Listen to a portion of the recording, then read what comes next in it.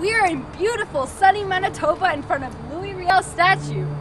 Okay, Louis David Riel was a Canadian politician and the founder of Manitoba, and a political and spiritual leader of the Métis people of the Canadian prairies. Louis was born into a devout Catholic family in St. Boniface, Red River. You cannot see it, that's okay.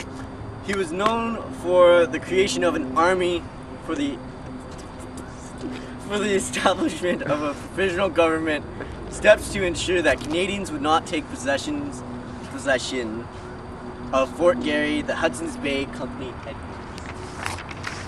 While his provisional government negotiated with Canada during the winter of 1870, Riel allowed an agitator to be tried and executed for insubordination, ver- vilified in eastern Canada for the execution. Riel feared lynching by the approaching Wolseley expedition and fled to the U.S. in August 1870. One of his achievements was when he formed a provisional government. A convention was held which drew up a list of rights, the basis on which the settlement would enter confederation. Soon the Canadian government wanted Louis Riel's head for leading the rebellion of the human rights for the Métis. During the election year, Riel feared for his life, so he went into exile in the United States. Execution was widely opposed in Quebec and had lasting political ramifications.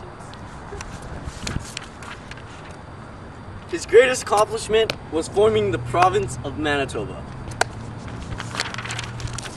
Some people view Riel as a savior and some as a traitor. Nevertheless, he became the voice of the Métis people during the turbulent time in Canadian history. Hey, we're done. Yeah!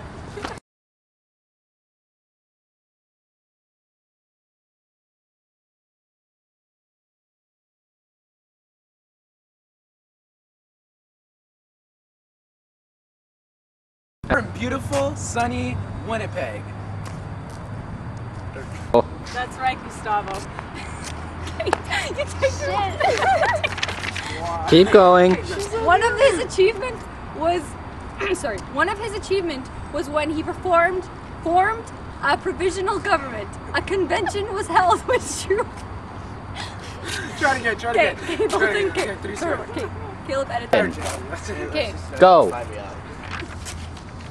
His execution was widely opposed in Quebec and had lasting political ramifications. Don't laugh at me. Bloopers.